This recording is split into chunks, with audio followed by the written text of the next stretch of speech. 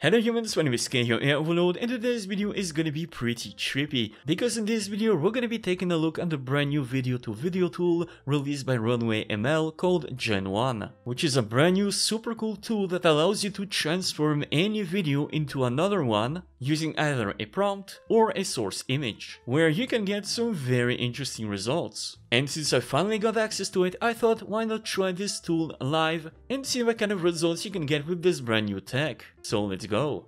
Now as of right now, Gen 1 only works inside Discord, which to be honest is probably not the best platform for this, but you know, it is how it is. And if you want to have access to it, you can click the link in the description down below, and then click right here to request access, where you will have to fill a form, and if you want to have access to it sooner, in this space right here, did a friend refer you to this waiting list? If so, please add the email address they used for their Runway account. Here you can input my email address, which is the Aitrepreneur at gmail.com. This way you should have access to it a little bit sooner. And then finally, do not forget to join the Discord server, because otherwise your application will not be taken into account. And once you finally have access to it, you will see a bunch of new channels appear. And one of the most important channels is probably the welcome instructions, because down below you will see a very short video that will explain everything on how to use Gen 1 correctly. So basically what they say in that video is that you need to use files that are less than 8 megabytes or less than 100 megabytes if you have Discord Nitro, but unfortunately as of right now Gen 1 can only process up to 95 frames of video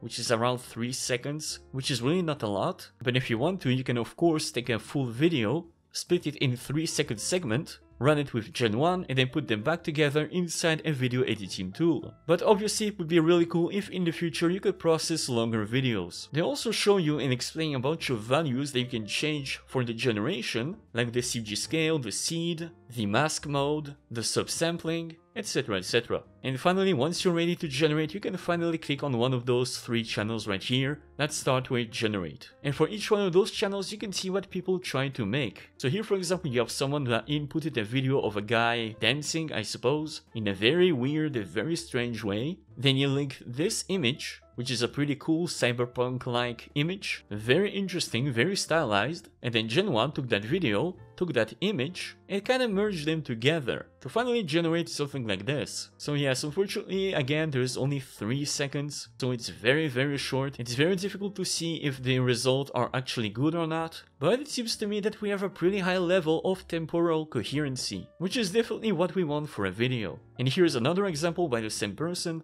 who inputted a video of a girl walking with the same style image as before, and this is what Gen 1 created. So again, this is very very short, it's very difficult to see if the video is actually good or not. But again, I don't see any flickering, I don't see any artifact that we see in the usual Stable Diffusion generation. So I think that this could actually be very very interesting. Now I decided to download and try out four different videos. The first one is a group of friends dancing. You see a lot of movement, you see a lot of different characters, which if you try to do this Stable Diffusion would be very difficult, because again the temporal coherency would be very difficult to attain, then you have a beautiful video of some waves, could be very interesting to transform this into something like lava, so we'll see if Gen 1 can do it. Then you have a pretty cute but beautiful video of a little frog. There isn't a lot of movement here, so I'm really hoping that Gen 1 can make this video really really good. And finally another video of a lone woman, this one dancing, very similar to the first one, but this time we only have one character. And to use Gen 1 is actually very simple. You're gonna go inside one of those generate channels, and in message you're gonna type at Gen 1, then you're gonna upload your video and your image. I'm gonna start with this video of a woman dancing, and then I'm gonna try to combine this with this image of a cyberpunk girl that I found on lexica.art. And then finally I'm gonna use these basic settings that I copied from another video made by someone else, and then paste them right here. And also just in case here I'm gonna input the same prompt that was used to create this image, which is basically a portrait of an emo punk woman. And then I'm gonna press enter. And now as you can see we have now a new thread that you can check until the generated video is done. And depending on the amount of people on the server, this usually takes between 1 to 5 minutes. Alright, if this is the final result, this was done pretty quickly. I think in my case it took less than 1 minute to create the video, so let's check it out. This is the final result, which is very interesting. Again, it's very very short. I really hope that the video could be longer in the future, but from what I see, it's actually really not bad. Sure, we lose a lot of the details on the face, but what's really cool is that it added sunglasses, exactly like I specified in the prompt and in the image. So that's actually really not bad. But obviously with only 3 seconds of video, it's really difficult to see the quality of the generation. It's really really difficult. Now one thing that I also noticed is that the video that you see right here that was generated feels a little slow. It's almost like slowed down compared to the original video that you see right here. So now I'm actually gonna redo the generation, but this time I'm gonna change the sampling from 2 to 1. And I'm also gonna double the denoising steps to see if somehow this creates a better, more consistent video. Alright, it's done. This time the generation took a bit longer compared to the previous one. It took around 2 minutes, which is still fine, which is still very fast. And now if we check out the results, you have something like this, which for some reason looks even slower than before. Okay, so I played around a little bit and apparently the subsampling number is the amount of frames that Gen 1 is supposed to skip. So the higher the number, the faster the video will look and the lower the number, the more frames there will be, but the video will also seem slower. The problem with that is that the base value that they use which is a subsampling of 2, if you play the video, the video seems way slower than the original. Again, this is the original, which is the normal speed, looks good, looks okay, and this is with a subsample of 2, which definitely feels way slower. So if you decrease the subsampling to something like 1, it creates a video that is even slower. And if you increase that to something like 4, your video will seem way faster. But unfortunately 4 is a little too much, and it's even worse if you choose something like 8, which skips a lot of frames, but at the same time, which is very interesting, it still creates a very smooth video. It's just that a few movements are missing. So I actually found that using a subsampling of 3 creates basically the best video, which still seem a little slow for some reason,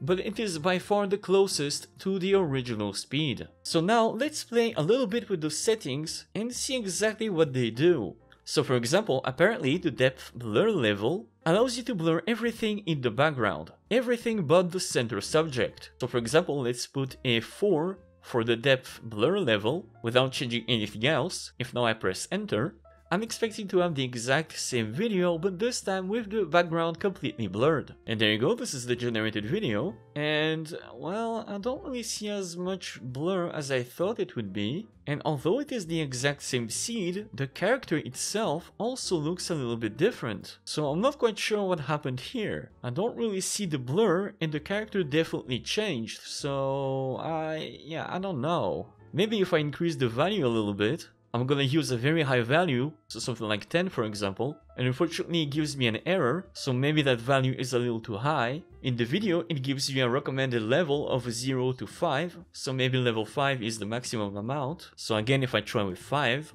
maybe we will get a better result, but to be honest I'm not expecting a lot of changes between a value of 4 and 5. And this is the finished video. Uh, I mean, again, interesting, but the character also changed, so I'm not quite sure what the depth blur level is really doing. So yes, we have indeed less details in the background, but our character also changed, so I'm not even sure if this is running correctly. So now let's take a look at the CFG temporal scale parameter, which apparently the lower the level, the less coherence you will have in the image, which is probably not what you want. So you definitely want a higher level, to something like 1.25, but I'm gonna try this out anyway and use a 0.5 for the CFG temporal scale just to see what kind of videos we can get with this. So this is the final video, which indeed looks a lot like a stable diffusion video that you would do yourself. There is a few artifacts and yet, despite the fact that there is a lot of like variation in the images, it's still very, very coherent. At least compared to a normal stable diffusion video that you would do yourself. But obviously I think that a higher value is definitely way better. Now I'm not gonna try the CFG scale because we all know how this works. Usually the higher the value, the more saturated the image will be, and the lower the value, the less saturated saturated it is. Then the seed, I mean different seed produce different results. Then you have the upscale parameters that allows you to upscale the video, which unfortunately takes a lot of time, so I'm not gonna try this out also. Then you have the compare parameters that allows you to compare the before and after, all of that in the same video. The interpolate option allows you to basically create multiple frames in the video so that it's basically smoother,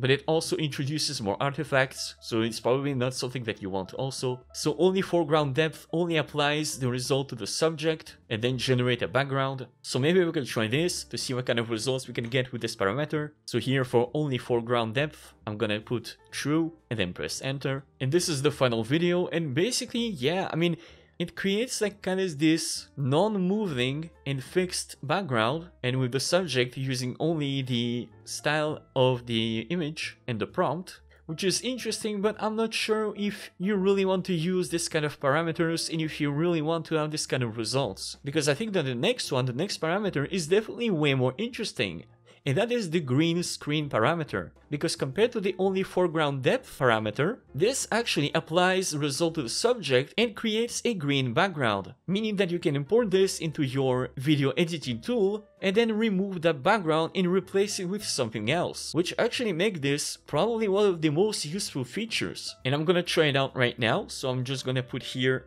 true for the green screen parameter and then press enter. And this is the final video, which indeed created this kind of green background behind the character. Now it's not perfect, there is definitely a lot of green color on the character also, so definitely not perfect, but it's still pretty cool. And then finally, you have the mask mode foreground, which basically applies the result to the subject and not the background. And the mask mode background, which basically does the exact opposite. Applies everything to the background and nothing on the subject. So let's first try the mask mode foreground and see what kind of results we get. And this is the final video, and indeed, as you can see, the background is left untouched, while the subject gets a lot of the style from the base image. And now if I do the opposite and I choose the mask mode background and I press enter and this is the final result which indeed of course it creates like kind of this very stylized background and leave the central subject untouched. Again it's not perfect you can see a lot of colors on the gloves but other than that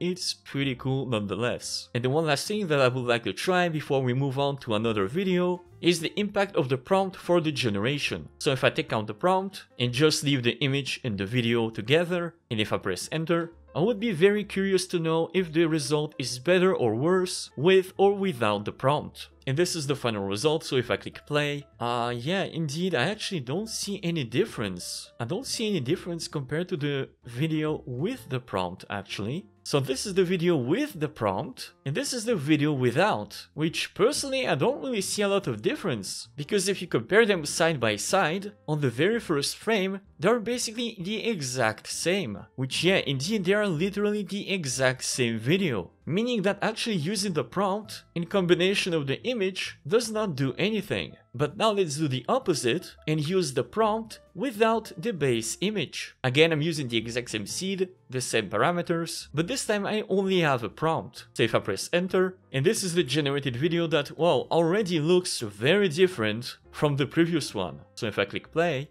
Indeed, it's very different. Not quite sure I really like this one, to be honest. I think the previous one is definitely better. It's more coherent. The style is also a little bit better, I think. This one just kinda looks weird, in a way. I wouldn't say bad, but it's definitely not my style. So I definitely think that the prompt function is not as useful as using an entire image for the style. Okay, so now let's do another video. What I would like to do now is to transform this video of a frog into a cartoon version wearing a crown. So something like this. And I'm wondering if Gen 1 can do that. So again, I'm gonna input the video and the base image. I'm gonna basically leave every parameters by default and then press enter. And this is the final video and unfortunately as you can see, uh, I already see that there is a crown that is missing. So it has already not created the video that I wanted. But yeah, this is not exactly what I was expecting. Now what I'm thinking is that maybe Gen 1 did not understood that the crown was actually a very important part of the image. So maybe if we take an image from the video and then run it through Stable Diffusion and use the first frame as a base image for the style, maybe Gen 1 will understand the image and style better and basically merge the first frame with the video. So for example, if I come here and I take a screenshot of the first frame of the video, then in Stable Diffusion I'm gonna take this image and then convert it into a frog with a crown by using image to image and ControlNet and then using the Inpaint Sketch tab to draw a crown. And now inside Gen 1 I'm gonna click here, select the video and the image and then press enter. And what I'm hoping is that basically Gen 1 will take this image and merge that style and form and shape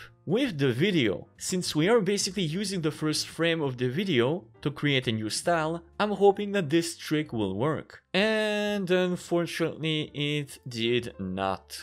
It did not work at all. I think the only difference compared to the other video is the fact that now we have a little bit more yellow and a bit more gold-like features in the video. But yeah, unfortunately, other than that, there isn't anything comparable to what I was trying to do. And even trying with a different seed does produce a very similar looking result. Which I'm not gonna lie, I'm kinda disappointed because that means that you really don't have a lot of control over the final result. Okay, so now let's try out another video. I would like for example to change the waves or the water from this video into a lava-like substance. And to reproduce the lava, I'm gonna be trying this image right here. And of course, I'm gonna be using the base parameters. So I'm really hoping to get something very interesting. And this is the final generated video. Indeed, that looks a lot like lava, but at the same time there isn't a lot of details in the image, so it's kinda difficult to tell at the same time. So in a way it's kinda a success, but I'm pretty sure that you can do something similar if not better in Stable Diffusion directly. I mean, don't get me wrong, it's still pretty cool, it was generated pretty fast, but also these 3 seconds limit are really really annoying. And finally, for the last test video, I would like to transform this group of friends dancing into robots or androids. So again, same base parameter,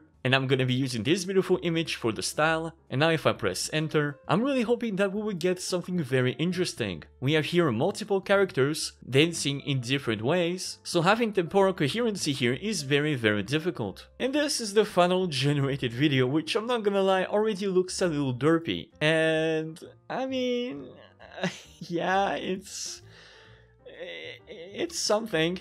That's that's definitely is something. Um, uh, that looks a little weird, but uh, what I'm really surprised by Gen 1 is the fact that I don't see any flickering at all, which compared to something that you would do in Stable Diffusion, you would have a lot of artifacts, but here everything looks pretty pretty smooth although a lot of the details are really washed out and there isn't a lot of details in the end. So, um, I don't know. Now don't get me wrong, I think it's a very interesting technology, but I think that we're still very far off of being able to create very interesting and very precise videos. But hey, that's just my opinion. Again, this tech is very new, there is a lot of work left to be done, but I'm sure that one day we will get there eventually. So there you have it folks, don't necessarily listen to me, try this out yourself, try to create some cool videos yourself. I mean, it's free after all, so might as well do it. And if you manage to generate some cool videos, don't forget to share with me on my Discord, the link for it will be in the description down below.